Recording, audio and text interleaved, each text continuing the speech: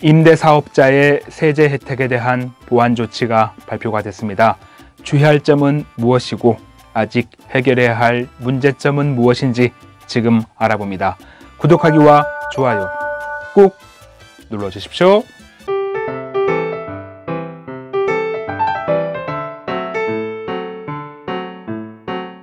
네, 안녕하세요. 박찬웅의 부동산 쇼! 부자남 박찬웅입니다. 주택임대 사업자에 대한 세제 혜택 보완 조치가 발표가 됐습니다. 세부적인 내용과 주의할 점은 무엇이고 앞으로 해결해야 할 문제점은 무엇인지 알아보겠습니다. 먼저 민간 임대 주택에 관한 특별법 일부 개정안이 2020년 8월 4일 국회 본회의를 통과하면서 710 부동산 대책에서 발표했던 임대 사업자 관련 규제가 실행이 되게 됐습니다. 710 대책에서 단기 민간 임대와 장기 일반 매입 임대 중에서 아파트는 폐지가 됩니다. 표를 보시면 이해가 빠르실 텐데 단기 임대와 장기 임대로 나누어져 있고요. 단기 임대 경우에는 건설 임대든 매입 임대든 폐지가 됩니다. 장기 임대 경우에 다른 유형의 임대주택은 유지가 되지만 아파트의 경우에는 장기 일반 매입 임대는 폐지가 됩니다. 그리고 이렇게 폐지가 될 유형의 임대주택은 임대 의무 기간이 끝나기 전이라도 과태료 없이 자진 말소가 가능하고요. 임대 의무 기간이 끝났다면 자동으로 등록 말소가 됩니다. 그런데 자진 등록 말소든 자동 등록 말소든 등록 말소 이후에 세제 혜택이 어떻게 되는 것이냐라는 논란이 있었고요. 위헌의 소지가 있다 보니까 정부가 이러한 점을 보완하기 위해서 보완 조치를 마련했다라고 보시면 됩니다. 이번 보완 조치의 서문에도 그러한 내용이 나와 있습니다. 기존 사업자가 등록 말소 시점까지 안정적으로 임대 사업을 유지할 수 있도록 주택시장 안정 보완 대책의 취지를 감안하여 임대주택 세제 지원 보완 조치를 마련했다라고 되어 있죠. 다만 중요한 게 이러한 보완 조치는 임대주택 등록 기간 동안에 임대료 상한 등 임대사업자가 지켜야 할 요건들을 잘 지킨 경우에만 적용한다라고 되어 있습니다. 그러면 세부적인 내용 살펴보겠습니다. 먼저 소득세, 법인세, 종합 부동산세 부분입니다. 첫 번째로 임대 등록 기간 동안 세제 지원은 유지한다라고 합니다. 그러니까 폐지가 되는 임대주택 유형의 경우에 임대 등록일부터 자진 또는 자동 등록 말소일까지 세제 혜택은 유지시켜 준다라는 거죠. 예를 들어 보면 소득세에서 임대 소득에 대한 분리과세 계산할 때 필요 경비율을 60% 적용한다라는 거고요. 소득세 또는 법인세 감면 혜택, 단기 임대나 단기 민간 임대라면 30%, 준공공 임대나 장기 일반 민간 임대라면 75% 감면 혜택을 적용한다라는 거고요. 종부세 합산 배제도 적용을 시켜주겠다라는 겁니다. 더 나아가서 임대 의무 기간이 끝나기 전에 자진 또는 자동으로 등록 말소가 된다 하더라도 그동안 받았던 세금 혜택에 대해서 임대 의무 기간 종료 전 말소로 인한 그 세금 추징은 하지 않겠다라는 겁니다. 예를 들어 보면 단기 임대주택이 4년으로 말소가 돼서 5년 요건을 채우지 못한 경우 어, 임대 사업자에 대해서 어느 정도 지식이 있는 분이라면 이 말이 무슨 뜻인지 아실 거예요. 그래서 제가 설명을 드려본다면 어, 우리가 민특법에서 요구하는 임대 의무 기간과 그리고 세금 혜택을 받기 위한 소득세법이나 종부세법에서 요구하는 임대 의무 기간이 다르거든요. 그래서 어, 세금 혜택을 받기 위해서는 5년 이상 임대를 해야 되는데 그 요건을 채우지 못했다 하더라도 앞서 말씀드렸던 그러한 혜택은 주겠다라는 거고요. 두 번째로 장기 임대 주택이 임대 등록일과 사업자 등록일이 달라서 8년 요건을 채우지 못하는 경우 이 부분은 임대 사업자에 대한 어느 정도 지식이 있는 분이라도 쉽게 이해하시기 힘드실 거예요. 어, 제가 설명을 드리면 우리가 주택임대 사업자로 인정을 받으려면 지자체 그러니까 시군 구청 가셔서 임대사업자 등록증을 받고요. 그리고 세무서에도 등록을 해서 사업자 등록증 이렇게 두 가지를 받으셔야 되는데 간혹 지자체만 등록하시고 세무서 등록하신 걸 깜빡하셔서 나중에 등록을 해서 임대 등록일과 사업자 등록일이 다른 경우가 있습니다. 그래서 세금 혜택을 받기 위한 8년 요건을 채우지 못하는 경우에도 앞서 말씀드렸던 그러한 세제 혜택을 주겠다라고 보시면 되겠습니다.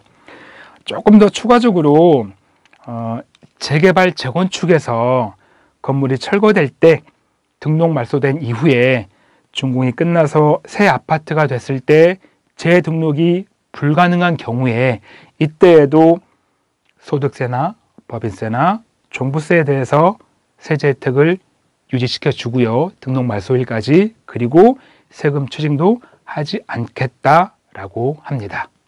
이번에는 양도소득세 부분입니다. 먼저 전제 조건이 있습니다. 자진 등록 말소의 경우에는 임대 의무 기간 중에 절반 이상을 임대한 경우에만 앞으로 제가 말씀드릴 보완 조치가 적용된다라는 것 먼저 말씀드리고요. 첫 번째로 임대 의무 기간 미충족 시에도 임대주택에 대한 양도소득세 중과는 배제가 된다라고 합니다.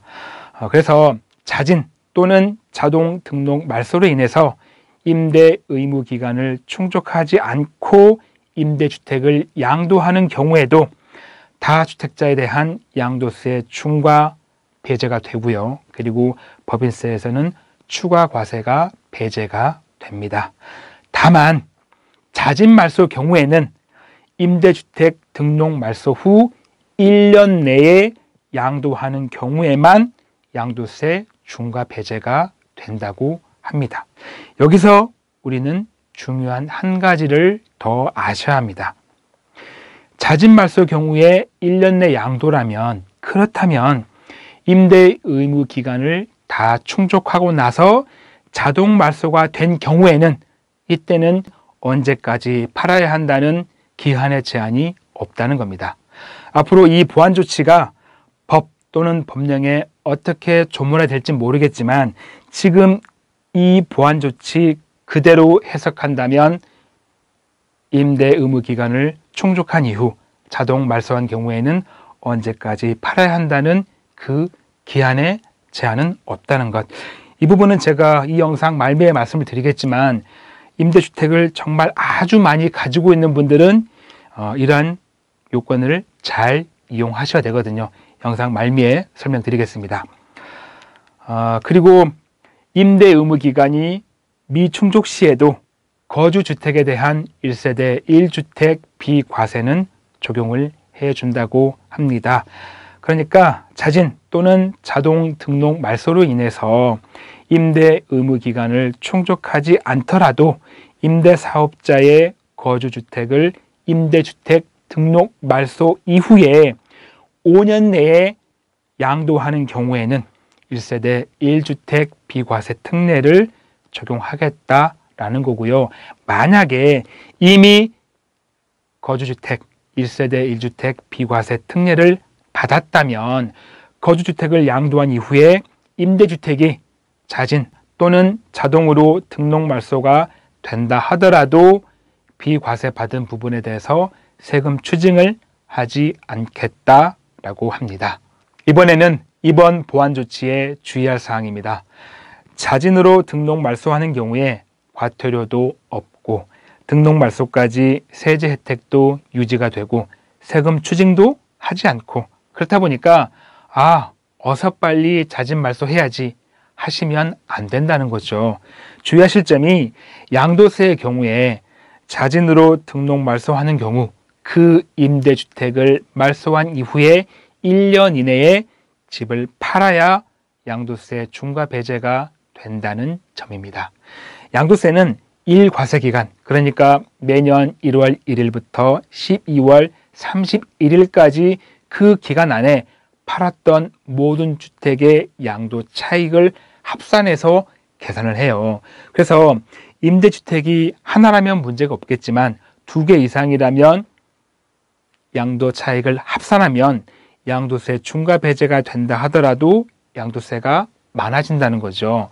그래서 임대주택을 여러 개 가지고 있다면 1년이라는 시간을 이 과세 기간, 그러니까 올해와 내년으로 나누어서 주택을 팔아야 하고요. 팔 때는 내가 팔고자 하는 주택의 양도세를 모의 계산해서 세금을 최대한 줄일 수 있는 방법을 찾아서 계획적으로 주택을 팔아야 합니다. 그리고 앞서 제가 잠깐 말씀드렸지만 잦은 말소가 아니라 임대 의무 기간이 끝나고 나서 자동으로 말소가 되는 경우에는 언제까지 집을 팔아야 양도세 중과 배제가 된다는 부분이 없었죠. 물론 어, 앞으로 이러한 보완 조치가 실제로 법이나 법령에 조문화될 때 바뀔지 모르겠지만 지금의 해석대로라면 기한에 제한이 없습니다. 그래서 어, 양도 차익이 정말 많은 주택은 정말 집값이 많이 오른 임대주택은 다른 집과 같이 파는 것보다는 종부세를 부담하더라도 좀 더 가지고 있다가 일과세 기간에 그 집 하나만 파는 것도 고민을 해보시기 바랍니다. 물론 이때는 종부세와 양도세 모두를 계산해서 더 적은 쪽으로 선택을 해야겠죠. 어, 그렇다 보니까 어, 임대 사업자들이 이렇게 임대주택들을 계획적으로 나누어 판다면 임대 사업자 매도 물량이 폭발적으로 나온다기보다는 어느 정도 조절은 될 것으로 보입니다. 하지만 그렇다 하더라도 급매물은 나올 것 같아요. 언제? 내년 말에. 왜? 앞서 제가 말씀드린 대로 과세 기간을 나누어서 팔려고 계획을 잡았다면 반드시 올해까지 팔아야 하는 물량이 있을 거잖아요. 팔지 못해서. 그러면 그러한 주택들은 급매물로 나오지 않을까. 그래서 실거주 목적으로 주택을 구입할 계획이 있다면 연말에는 임대사업자의 급매물로 좋은 주택을 살 수 있는 매수 타이밍이 오지 않을까 싶습니다. 이번에는 앞으로 해결해야 할 문제점입니다. 물론 정부가 이렇게 보완 조치를 발표했지만 아직도 부족한 것들이 있죠. 세 가지가 있는데요. 첫 번째, 8년 준공공임대나 장기 일반 민간 임대로 등록을 해서 10년 이상 임대했을 때 장기 보유 특별공제 70% 또는 양도세 100% 세액 감면을 받으려고 할 때 다른 유형의 주택은 폐지가 되지 않기 때문에 세제 혜택을 받을 수가 있지만 아파트의 경우에는 8년이 되면 자동 말소가 돼서 이렇게 10년 이상 임대할 때 받을 수 있는 세제 혜택은 전혀 받을 수가 없게 됩니다. 이대로 이 문제를 방치한다면 소급해서 규제하는 논란이 있다 보니까 또 다른 보완 조치로 구제를 해줄지 아니면 이대로 방치할지 지켜봐야겠고요. 두 번째는 재개발, 재건축의 8년 준공공임대나 장기 일반 민간임대로 등록한 임대 사업자의 경우에 주택이 철거가 돼서 민특법상 임대 사업자가 말소가 되면 말소 당시까지의 세제 혜택은 유지가 되고 세금 추징도 받진 않겠지만 공사가 끝나고 새 아파트가 됐을 때 임대 사업자 재등록이 불가한 이유로 장기 보유 특별공제 8년 임대 시 50%, 10년 이상 임대했을 때 70% 또는 양도세 100% 세액 감면 혜택은 전혀 받을 수가 없게 됩니다. 사실 재개발 재건축 주택을 임대주택으로 등록한 임대사업자가 공사가 끝나고 새 아파트가 됐을 때 다시 임대사업자로 재등록하는 경우는 신규 임대사업자라기보다는 기존 임대 사업자의 연장선상에 있는 거거든요. 그렇게 본다면 새 아파트가 됐을 때 임대 사업자 등록을 가능하게 해서 앞서 말씀드렸던 장특공이나 양도세 100% 세액 감면 혜택을 주어도 무방할 텐데 임대 사업자에 대한 정부의 큰 그림 자체가 혜택을 축소하고 없애다 보니까 재개발 재건축의 경우에 새 아파트가 됐을 때는 더 이상 세제 혜택을 주지 않을지 아니면 또 다른 보완 조치로 구제를 해줄지 지켜봐야 하겠습니다. 마지막 세 번째는 제가 예전에 영상을 올렸었는데 최근에 이슈가 되고 있더라고요. 부부가 공동 명의로 임대주택 한 채를 등록했을 때 이때 장기 보유 특별공제 8년 50%, 10년 이상 임대했을 때 70% 혜택을 받을 수 있느냐는 문제에서 국세청이 부부가 1주택을 가지고 있는 게 아니라 사업자 각각 0.5채씩 가지고 있는 거라서 장기 보유 특별공제 혜택을 줄 수 없다라는 정말 이해하기 힘들고 어이가 없는 해석을 했거든요.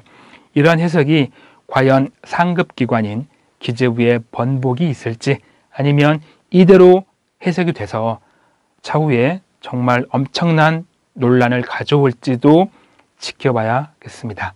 그리고 지금 말씀드린 세 가지는 임대 사업자에게 혼란을 줄 수 있기 때문에 세제 혜택을 줄지 안 줄지 정부가 명확한 답을 해주길 바랍니다.